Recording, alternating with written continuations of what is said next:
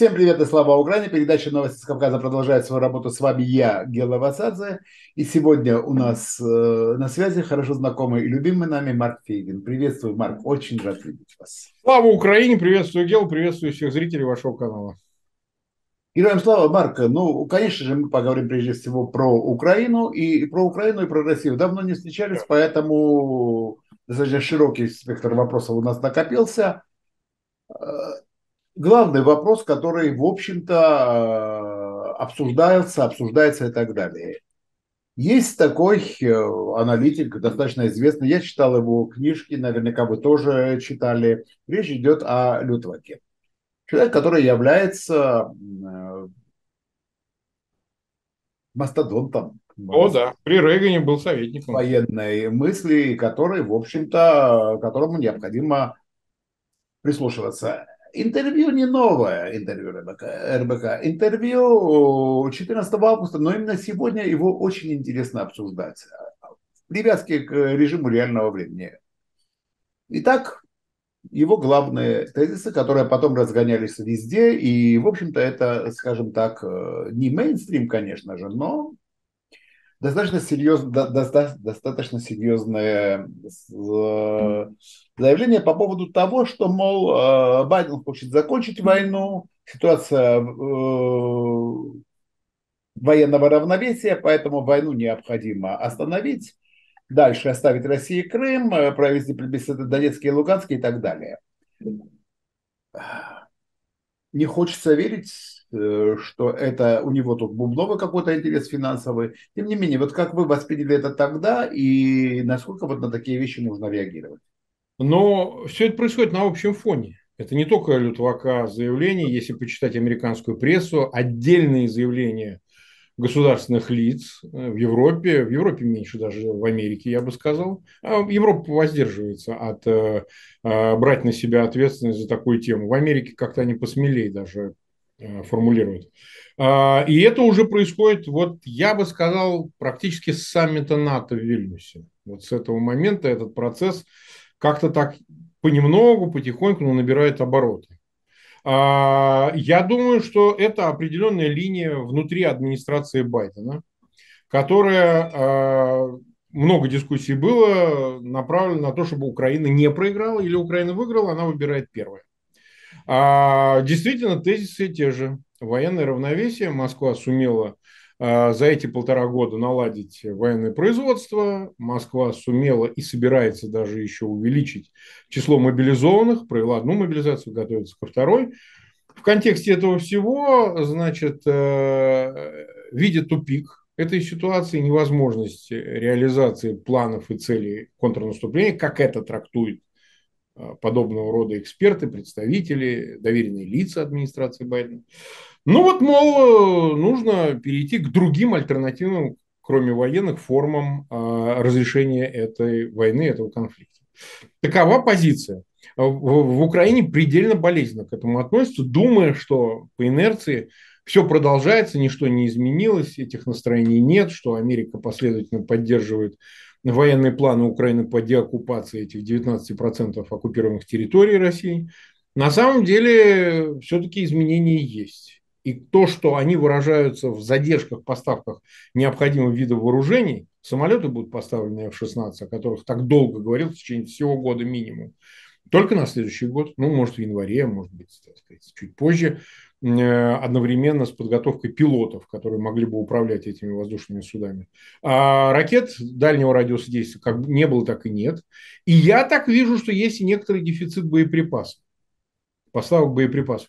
Можно ли считать это рычагом давления на Украину к понуждению, к, по, к, к переговорам или каким-то формам там, прекращения огня? Ну, то есть это очень широкий диапазон, что может быть достигнуто тем самым. Я думаю, отчасти это именно так. Я думаю, отчасти это именно так. Об этом надо говорить, это надо анализировать, потому что голоса эти звучат все громче, именно в Вашингтоне, в Америке. Сам Байден в такой лексике не выдерживает своих э, заявлений, но некоторые из лиц его администрации о чем-то подобном говорят. Вы знаете, и многое усугубило, я бы сказал, в позиции Вашингтона события 23-24 июня в России. Они, это первый фактор. Ну, помимо всех соображений того, что Украине не хватит сил для того, чтобы самостоятельно деоккупировать территорию и дойти до границ 91 года, они действительно испугались, что в результате хаоса к власти в России могут прийти ультра силы, которые не то что недоговороспособны, а станут обладателями ядерного оружия и цитера, и цитаратус, и так далее. Да? Ну, мы все это слышали, риторику, мы знаем эти страхи, и они уже не первый раз и не первый год возникают в связи с Россией, которая в случае распада окажется, так сказать, 10 или 20 мелких Россий, которые будут не лучше России большой даже если с ними проще будет справиться поодиночке. А вторая причина, я думаю, очень существенная, это выборы в Соединенных Штатах.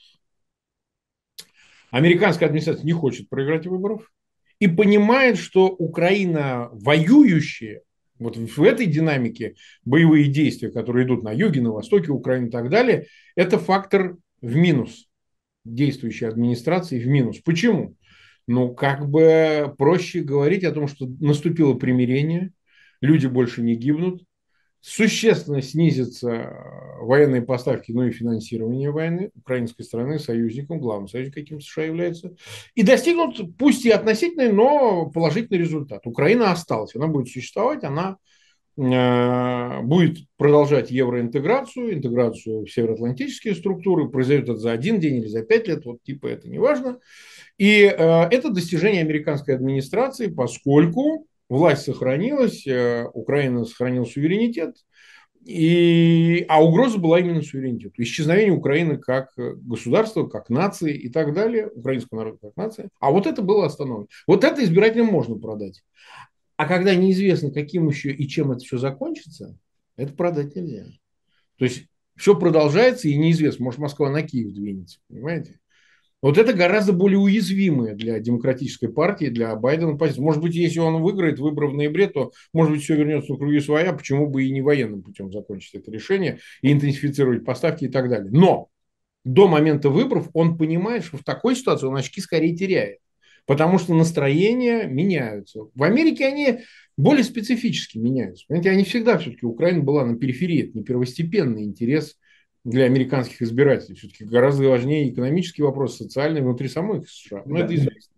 Но Украина – это тот болезненный э, аспект, который Байдену все время будут ставить критики его из э, лагеря республиканцев в упрек. Те, кто, ну, скажем так, более нейтральную занимает позицию типа Трампа, будут говорить о том, что вы не смогли остановить войну, а я вот Трамп мог бы остановить войну, и это не значит, что я хочу уступить России, а просто я мог бы не допустить того, что произошло. Критики, которые наоборот Украину поддерживают, будут говорить, вы недостаточно, и они звучат, эти голоса. Помогали Украине, надо было сразу давать самолеты, надо было сразу давать ракеты. Ну, никто им рот не заткнет, они могут это говорить. Э, и это тоже э, аспект критики. Ему нечем будет ответить, а почему ты действительно не давал. Если боевые действия приостановятся, он может сказать, слушайте, мы путем баланса сумели достигнуть первого результата, сохранить Украину, и да, э, значит, э, не дать России повод для начала Третьей мировой войны, ну и что-нибудь в этом роде такое. Да. А если боевые действия продолжаются, то никто не понимает, чем кончится. И поэтому, я думаю, это второй очень важный аспект, который понуждает американскую администрацию уговаривать Киев пойти на какую-то форму переговоров, дистанционную, опосредованную, там, в лице третьих стран, там, Турции или кого-то еще. И я думаю, что единственный важнейший рычаг давления – это финансы и вооружения, которые поставляют союзники. А какие еще? Сама Украина у нас почти 100%, ну, на 95%, 97% не готова никаким мирным переговорам, не желает их и понимает, что в ходе любых форм а, переговоров, через посредничество, там, напрямую, еще как-то, неважно, а, это утрата территории. Это мир в обмен на землю. Мир зыбкий, а территории очень даже конкретные. И эта формула с Россией, проблема в том, что она с ней никогда не работала. Вы отдаете землю, но вы мира не получаете. В 2014 году что бы не удовлетвориться было Донбассом и Крымом? Ну, например. Чего было бы не удовлетвориться? Но этого же мало. Россия же не этого хочет. Кремль не этого хочет. Он хочет всей Украины. Потому что оставшаяся Украина – за вычетом этих 18-19%, уходящая в НАТО и в Евросоюз, это угроза гораздо большая, нежели Украина, которая вернет себе свои территории и останется в нейтральном статусе. Вот в чем квинтэссенция этой проблемы для России, для Москвы. Она не может позволить, чтобы соседнее гигантское славянское государство 40-миллионное, ну, как бы там не считать с беженцев, без беженцев, не может э, показать пример, что она может спокойно существовать в, как они заявляют, в англосаксонском мире или там устроенном англосаксонном мире, интегрироваться в североатлантические структуры, в европейские и так далее. Не может, потому что тогда не очень понятно, ради чего претерпевает вся остальная 140-миллионная славянская масса. Ради чего они мучаются, э, терпят диктаторский тоталитарный режим, ограбление, дикую коррупцию, бесправие, абсолютное бесправие и так далее. То есть это один аспект, их гораздо больше. Да? Но тем не менее э, Москва не может пойти на то, чтобы разрешить Украине уйти в коллективный Запад. Вот главная причина. Марк, ну в том же Вашингтоне не могут не понимать. Мы с вами знаем про 95-97%, но и в Вашингтоне не могут об этом не знать. И еще один аспект, то, что Украина просто на это не может пройти, потому что, ну как ни крути, в любой стране, в любой стране все-таки носителем власти является народ. Это не ну, значит, что народ может в любой момент... Э, демократии, безусловно сменить власть. Но так или иначе, да даже, да, да, даже при диктатурах, если, если подавляющая масса народа против власти, власть не удержится.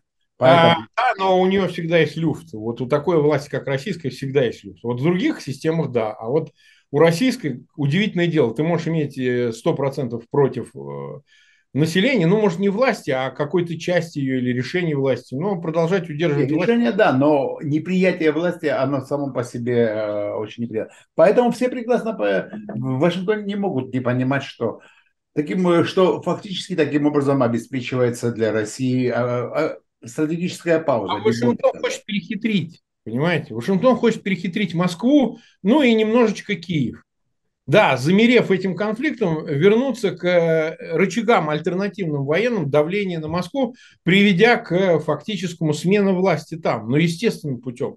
Со сменой естественной, транзитной, а не путем свержения режима Путина и возникновения неизвестного, э, так сказать, э, силы, которая может прийти ему на смену. А вот управляемые силы в виде всяких Мишустиных, Хренустиных и так далее, которыми куда быстрее договорятся. Вот что хочет Вашингтон. Он точно так же и в 91 году отчасти действовал. Он же не хотел распада Советского Союза. Конечно. Он думал, что все мягко трансформируется. С Горби они договорились. Горби поменяет, значит, э, все, что нужно и будет продолжать управлять Советским Союзом там, на конфедеративной основе, сохраняющийся союз государств. Любой другой, но главное, чтобы не было этого распада, который ведет к неизвестным, непредсказуемым последствиям. Даже сейчас они могут говорить о том, что вот Советский Союз распался, и вот какая на его месте Россия возникла. Которая неизвестно, кинет ядерную бомбу или нет. Это у них аргументация такая. Она ложная, но она такая. Мы к России обязательно очень скоро вернемся, но если мы говорим про аспекты выборов, воюющая Украина в ноябре 24 года, а до ноября 24 года еще больше года, может не устраивает администрацию Байдена, а побеждающая Украина, Украина, которая отвоевывает свои территории, это же огромный успех. Да, но, и, конечно, бы Вашингтон на это бы согласился, и, конечно, бы Вашингтон бы это приветствовал. Но они-то считают, что у Украины нет этих сил возможностей. Понимаете? Они считают, что контрнаступление, которое идет, да, может быть, военные понимали, что не будет все так гладко и красиво, да, но политики принимают решения, не военные, а политики считают, что а, время, время, время – это самый дорогой ресурс, не оружие, не деньги, а именно время. И это времени у Украины нет, потому что Смотрите, полтора года идет война, и они полагают, я повторяю, это позиция в Вашингтоне артикулируемая, потому что у меня много источников, которые рассказывают это все и в Конгрессе, и в Госдепе, и в разных других местах. Да, конечно, если в один день победить, все освободить, то и ок. Ну и бог с ним, что будет в России, то будет. А если это тянуть и тянуть, то в их представлении Россия получает массу рисков, так сказать, э, с одной стороны, которые, на которые Вашингтон вообще не влияет, как мне сказал посол Фран... Э, Украины во Франции, я вот визу получал долгосрочную, он мне сказал, что в двух столицах испугались событий 24 июня. В Москве и Вашингтоне. Понимаете? То есть, действительно, в двух столицах испугались. И делали все в Вашингтоне, чтобы Пригожин не имел успеха. И сейчас они более чем счастливы, даже больше, чем Москва, что ну и нет проблемы, и, как говорится, вот так. То есть они считают, что у них есть взаимодействие с нынешней властью в России. И общий стратегический дальний интерес за самосохранение власти, это интерес Москвы, а он на тактическом этапе, в общем, интересен и Вашингтон. Да пусть Путин пока. Вот но, ведь даже, но ведь даже с этой точки зрения Вашингтону очень нужна именно выход на границе 91 года, а там дальше уже с Россией мы договоримся на более лучших условиях, потому что, ну, если бы они считали бы так, если бы это было бы мейнстримом, тогда какой смысл э, давать кассетные боеприпасы, которые реально помогли? Вот топтались, топтались, я же не случайно сказал, 14 августа сегодня. Кардинально другие ситуации. Сегодня они уже говорят, тот же Столтенберг говорит, что мы не думали, что Украина так может воевать. Мы не думали, что они могут преодолеть эти линии. То есть они знали о том, что... Во-первых, в американской администрации нет единой позиции. Там есть и противодействие позиции, которую вы сказали, а, и, противоди... и одновременно поддержка этой позиции. То есть, допустим, крыло Салливан Бернс – это одно, а крыло Остин и значит, глава Блинкен, глава Госдепа – это другое. И поэтому совершенно не факт, что здесь результирующая, она сложится именно в сторону того, что либо окончательно дать все, что необходимо, и победить военным путем выйти на границу 91 года, или же, так сказать, наоборот, понудить к переговорам Украину, чтобы зафиксировать статус-кво. Какая-то будет средняя линия выработана между этими двумя. Линия она сейчас есть. Ну, она сейчас, безусловно, есть, но скорее она в пользу первых. Сейчас в пользу Салливана и Бернса складывается. Вот так по, по, по, по ходу того, что мы видим. Пока именно так, потому что для военной победы мы знаем, чего не хватает. То есть это не какие-то загадочные вещи. Нужно более э, серьезные виды вооружений и их диверсификация в пользу появления очень серьезных видов вооружений. Кстати, не только F-16 и э, ракеты дальнего радиуса действия. Это и, между прочим, там и дроны специальные, и много чего еще. Они очень эффективно свою высоту показали, кстати. Поэтому проблема заключается в том, что пока побеждает линия, которая не очень верит в то, что Украина в состоянии, даже получив эти средства, деоккупировать оставшиеся 19% территории. Побеждает пока эта линия. Несмотря на то, что они по инерции, безусловно, дабы не сдвинуть ситуацию в худшую сторону, чтобы, знаете, на Киев не пошла Москва, будут продолжать вооружать Украину и помогать ей финансово. Но в степени, которая не даст решающей возможности для победы. Может ли Украина самостоятельно при имеющихся ресурсах осуществить эту задачу, ну хотя бы дойти до моря, скажем так, разрезать фронты, перерезать этот путепровод снабжения армии. А неизвестно это. Понимаете? Это неизвестно. И поэтому, наверное, да, мы скорее верим, нежели знаем. Как можно знать? Да? В какие сроки? Вот и все. Наш общий друг э, Юрий Федоров, он, кстати, очень интересную вещь постоянно, он постоянно повторяет в эфирах об этом, что для того, чтобы перерезать эти линии, не нужно доходить до моря. Достаточно взять такмак. Да, он правильно говорит. Потому это... что если возьмут такмак, тогда же это... Нужно обстреливать дорога... на свете, там больше ничего не сдвинется, там ничего Желез... не Железная дорога перережется, а все, причем взять под огневой контроль, все остальное будет. И это, это очень важный момент. В принципе, сейчас ВСУ решают, какая линия победит в Вашингтоне. Но кроме Вашингтона есть же еще и другие страны, которые тоже участвуют во всем этом. Знаете, маленькая ремарка. Смотрите, конечно, перережут, но это еще не победа. Даже допуская это, в Вашингтоне считают, что даже если перережут путепроводы, все равно два куска останутся, восточный и южный, там левый берег Украины и Крым, которые, так сказать, не, на, не автоматически можно будет э, даже под огневым контролем держа э, освободить. То есть на это тоже уйдет уйма времени. И это Само тоже... Собой. Просто до ноября время есть. До ноября следующего года, я имею в виду. Так что это называется «Будем посмотреть». И все-таки давайте посмотрим сценарий, а что в это время происходит в России. Да. А, мы говорим о том, что да, у Вашингтона, как, знаете, в, в наше время, потому что мы ровесники, был анекдот про половую жизнь. Э, при, э, когда молодость есть да. Чем, но нет где. Да. В старости есть где, но нет чем. И по-философски есть где, есть чем, а зачем. Вот э, сейчас Соединенные Штаты, они в такой ситуации, что у них есть где, есть чем, но они у себя спрашивают, а зачем? А в какой стадии находится Россия? Потому что, насколько я понимаю, там тоже с э, ресурсами, по крайней мере, из того, что мы слышали на фронте, не все в порядке, особенно с ресурсами техническими. Можно надеть военную форму, можно дать э, какой-то автомат, но это, это не армия. Не, быть... Я согласен, эти проблемы очевидны, известны, публичные. Но они это преодолевают чем? Они, во-первых, не считаются с потерями, то есть вот этих одетых и с автоматом пущенных, а, они не имеют проблемы внутри России в связи с э, числом потерь, понимаете, которые все-таки так или иначе имеют и в Украине. Смотрите, какие проблемы с э, призывом, с мобилизацией. Они не такие гигантские, но они есть. А, так сказать, эм, есть проблемы, безусловно, в России э, с оснащением, с офицерским составом. Они есть. Но это преодолевается числом, не умением, не технологической изощренностью, а просто числом. И я думаю, вот эта новая мобилизация, она готовится именно с этой целью. Э, закрыть эти дыры новым человеческим материалом, понимаете? Она так и будет? Ну, в этом нет никаких сомнений. А какая, какая замена этому? Но наряду с тем, все-таки, понимаете, э, Москва сумела, надо отдать ей должность, за полтора года, в общем, они сумели хотя бы в том режиме, благополучном, там, бесперебойном, режиме производить необходимые сейчас вооружения, это снаряды, это артиллерийское орудие, это танки, ракеты, они это более или менее наладили. Они остаются такими же плохими по качеству. Они точно такими же остаются, мягко говоря, несовершенны и неконкурентоспособны западным вооружениям. Они берут количество. Они молотят вот количество. С танками и ракетами как раз таки тоже проблема, иначе как ну, объяснить? Они есть, но, но тем не менее все прогнозы о том, что ракеты закончатся, нечем производить, у них там нету чипов, который производится совсем не в России и так далее, оказалось, что что-то они там сумели наладить. Вот так я бы сказал. Что-то да, но ракеты не закончатся от слова совсем, но то, что раньше было, и то, что сейчас, конечно же, это небо и земля. По... Вопрос, да, достаточно ли для победы для взятия Киева? Нет, они не смогут взять Киев. Там, или крупные города. А достаточно, чтобы удерживать оборону на тех позициях, которые они сейчас занимают? Ну, я думаю, пока да.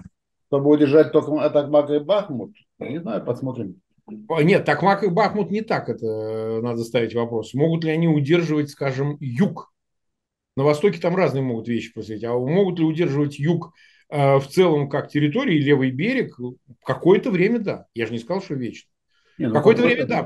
Это говорят люди с фронта. Это говорят из ВСУ люди. Это не я. Так говорю. они удерживают какое-то время. О, это время, так время самый главный ресурс. Я же об этом сказал. Хватит ли терпения и политического ресурса и воли у Запада, чтобы продолжать и продолжать, потому что они считают, я вот читаю их статьи, что это очень долго уже, это затяжная уже война. В их представлении полтора года это затяжная война. Даже в Карабахе в 2020 году все было куда стремительнее, понимаете?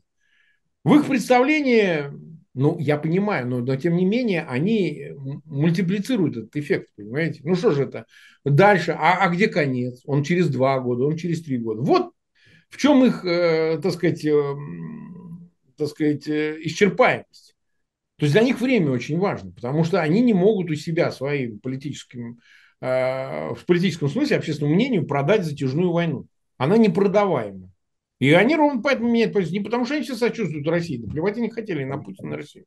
Но, но общественное мнение там, оно меняется. Ну, судите сами. Вот вы видели дебаты или там читали о дебатах, это Рама с вами, это миллиардер, это ну, он вообще не да, ну, дублер Трампа дублер Трампа, да и более радикальный. Трамп себе не позволяет такого говорить. Понимаете, Трамп-то этого не позволяет, он аккуратнее, гораздо нейтральнее выражается. Но это же тоже отражение определенных настроений.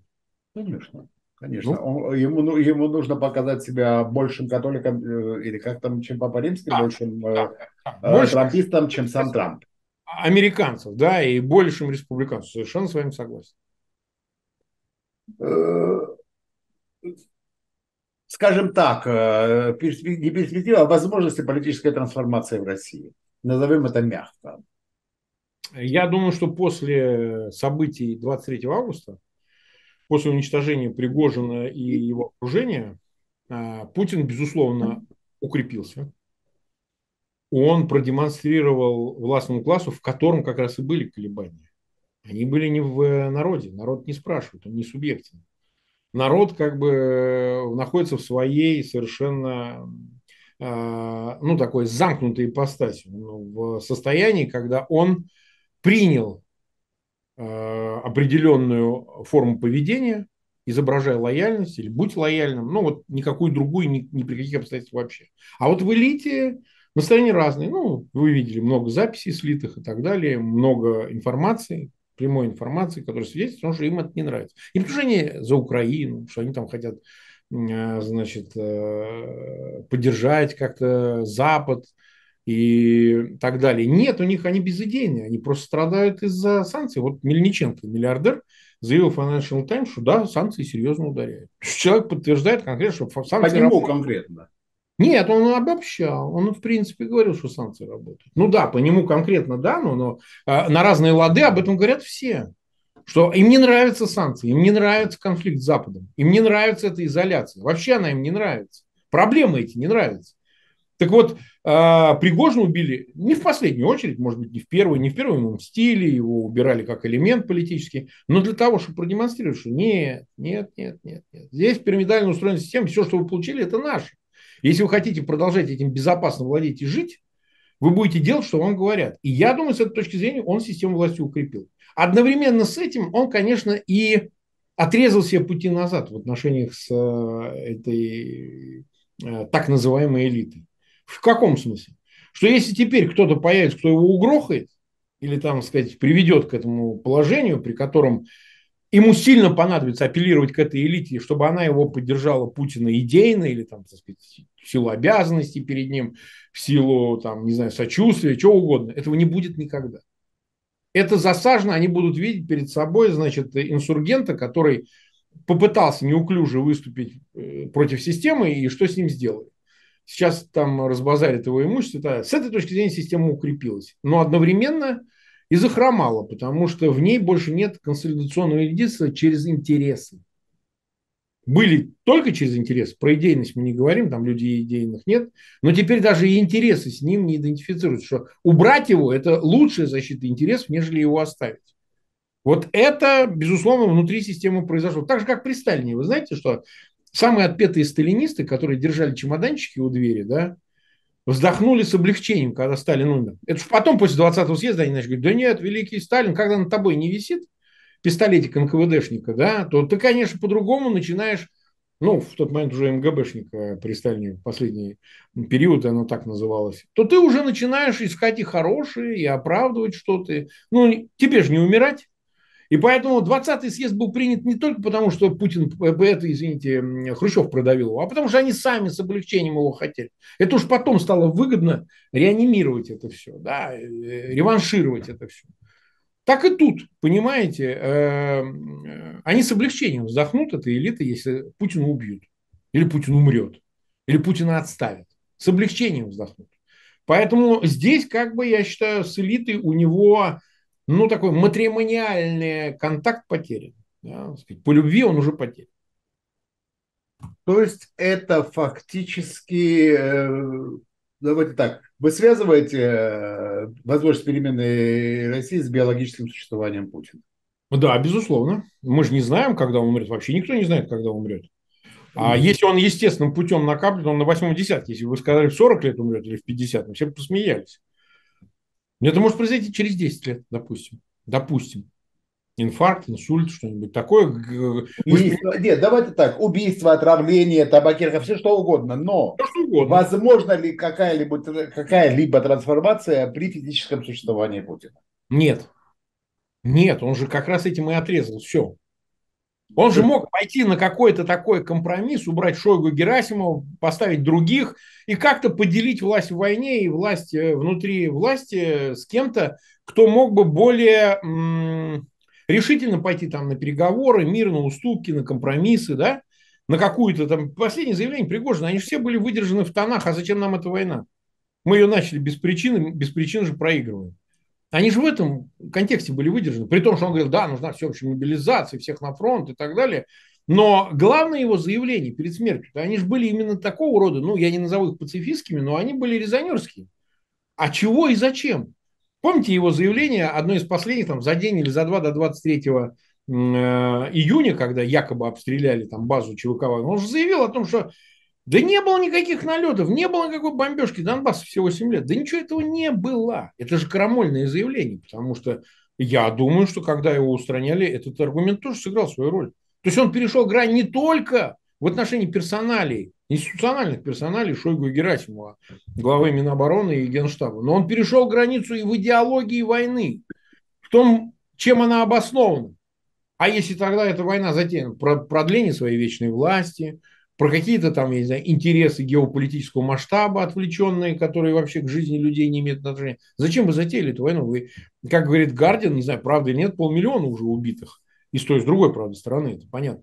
Но такая, это же крамола страшнейшая. И поэтому даже заодно это его должны были устранить. А уж он там столько всего наделал, что и говорить нечего. Поэтому я глубоко убежден, что Безусловно, Путин укрепил свою власть. Ну, конечно, укрепил, как всякий тиран, который убирает э, всякий негодный элемент, предатель он их называет. Да? А тут как хочешь трактуй. Предатель, не предатель, или в пользу царя, значит, как Скуратов, Малюта бил бояр. А, неважно, это уже детали. Но он продемонстрировал э, характер своих взаимоотношений с властным классом. Вот он такой теперь, через насилие. И это, по-моему, не оставляет шансов ему как-то мягко отступить, кому-то что-то уступить, уйти в, бок, в перпендикуляр, и ему ничего за это не будет, и он сохранит какой-то объем полномочий, власти и безопасности. Нет, уже уйти нельзя. Укрепление, подобное укрепление власти, это насколько оно, по-вашему, эффективно, я имею в виду, насколько его шансы быть убранным уменьшаются при этом. А мы не можем их оценить. Вот в чем беда. Мы не можем, потому что мы, вот судить там, какие были шансы его быть убранным до событий 24 июня, до этого похода до Ступина ЧВК Вагнер. Какие были шансы? Мы умозрительно их оценивали, что вероятность такого возможно. Недовольство в армии, недовольство в том, что ЧВК Вагнер, тем более он открыто об этом говорил. Это же не какие-то тайные заговоры, ничего не было и вдруг появилось. Это же происходило на фоне его заявлений Пригожина. Именно таких заявлений, которые можно было и нужно было трактовать как вызов системе и вызов самому Путину. Ну да, он э, критиковал, так сказать, администрацию, олигархию, Рублевку, Путина, Шо, э, извините, Герасимова, Шойгу. Но мы-то слышали, кому претензии, с этим дедушкой и так далее. То есть там звучало рефреном какие-то вещи, что а зачем вы и как вы, и что вы. И, так сказать, э, естественно, что эти шансы мы оценивали, ну, с какой-то степенью вероятности. Сейчас, в условиях еще большего огрубления и вот этих действий со стороны власти, ну, больше загадок, нежели ответов. Но зато мы можем точно сказать, что шансы его обнуления до 24 февраля 2022 года были явно ниже, чем после 24 а, да, это можно сказать, потому что он проигрывает войну. Он ее все равно не выигрывает. Вы понимаете, если он взял Киев за три дня, нечего было бы обсуждать. Ну, или там условно поменяли на марионеточного какого-нибудь Медведчука, или там еще кого-нибудь посадили бы. Если Тогда бы нечего было обсуждать. Если бы он бы взял бы Киев за три дня, мы бы с вами бы вполне э, э, есть такая вероятность, жили бы по соседству. Так что. По соседству? Ну да. Мы Нет, ну сосед... я раньше уехал, я уехал в Европу. Я, вы не поняли меня, мне бы пришлось уехать, потому что... А, да, да, да, да, да, да, да, да. В этом смысле, да, я не сразу подумал, я еще по инерции думаю, что в Грузии все хорошо. Ну да. В Грузии пока все более или менее. Не скажу, что хорошо, но более или менее. Об этом мы, если успеем, еще поговорим. Но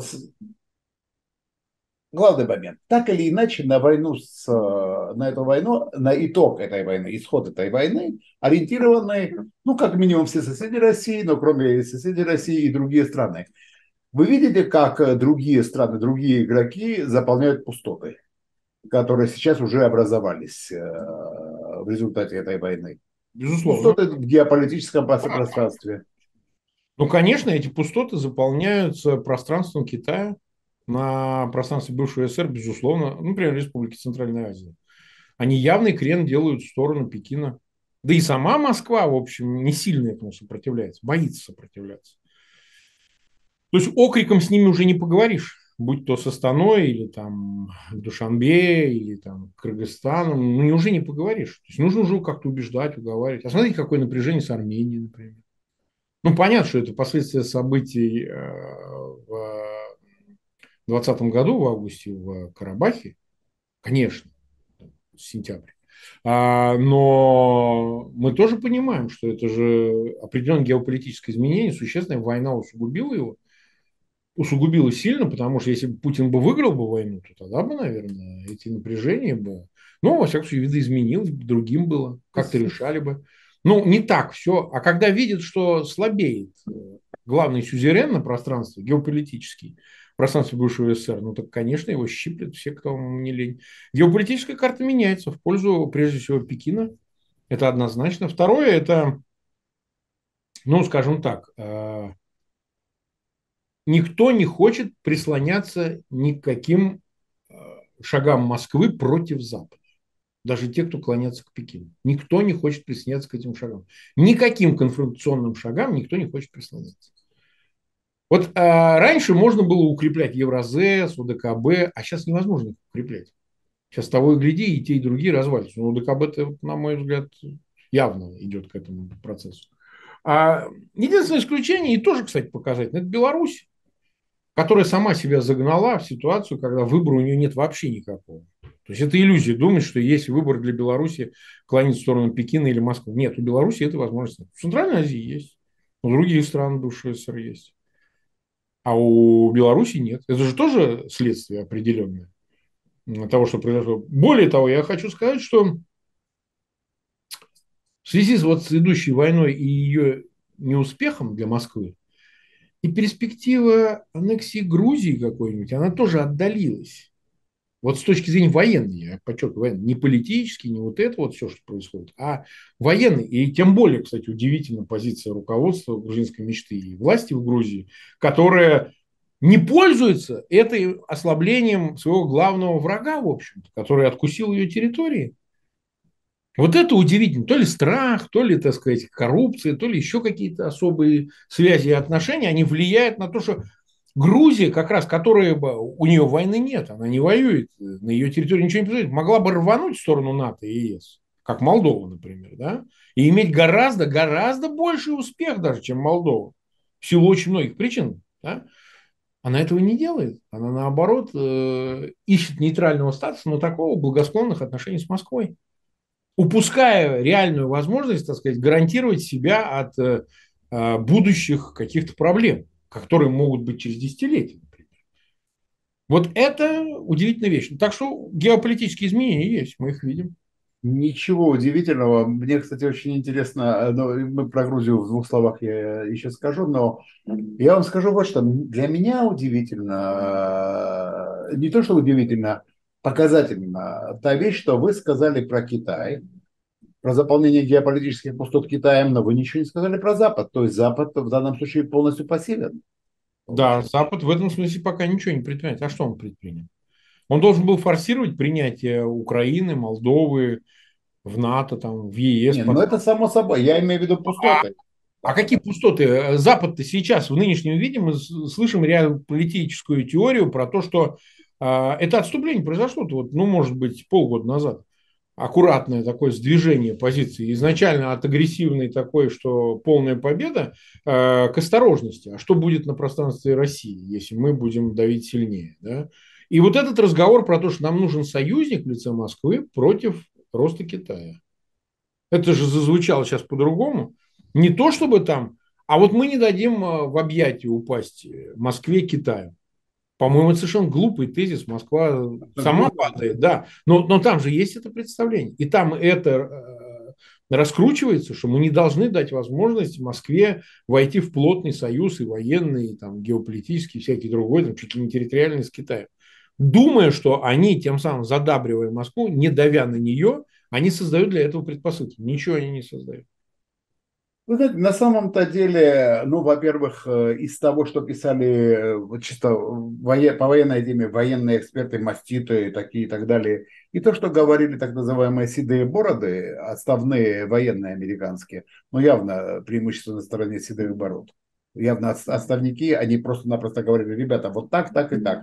А теоретики теоретизировали. То же самое здесь, в сфере международных отношений. Да, разговоры идут, но жизнь, она более Реально. Если мы возьмем вот наш регион, да, Грузия.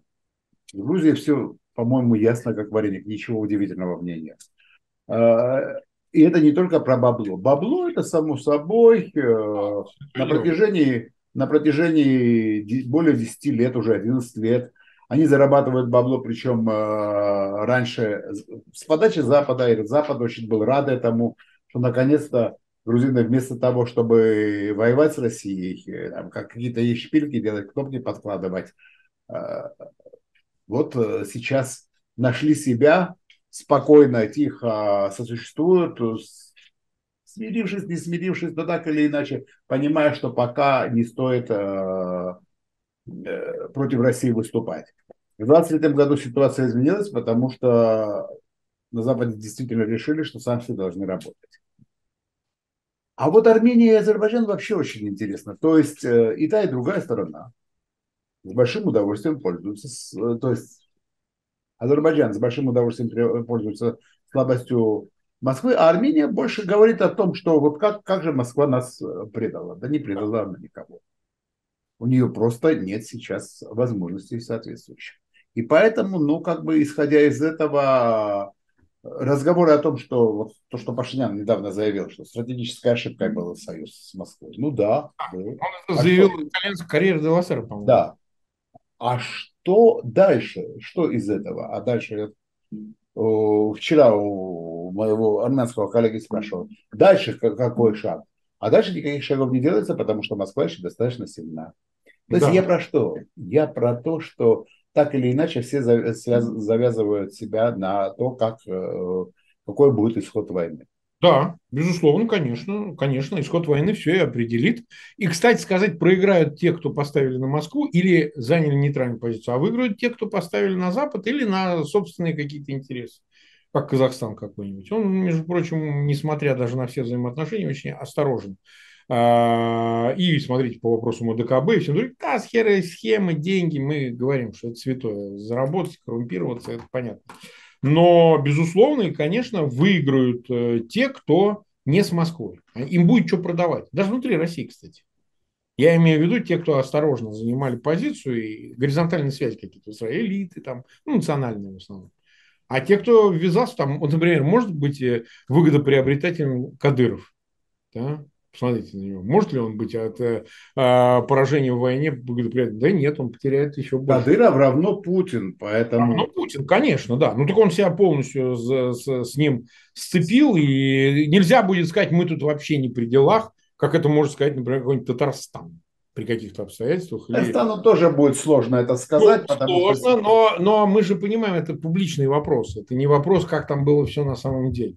То есть, если начнет разваливаться, пойдет распад России, то такие, как Казахстан, Башкортостан, ряд других, получат э, со стороны... Татарстан, не Казахстан, Казахстан блин. Э, Татарстан, э, Башкортостан. Да, вы сказали Казахстан, поэтому... А, ну, я, я, конечно, нет. Э, я имею в виду автономии. Да, да, да. России. Они тут же заявят, мы тут ни при чем, это Москва принимала решение о войне. Мы, мы, нам это вообще все зачем?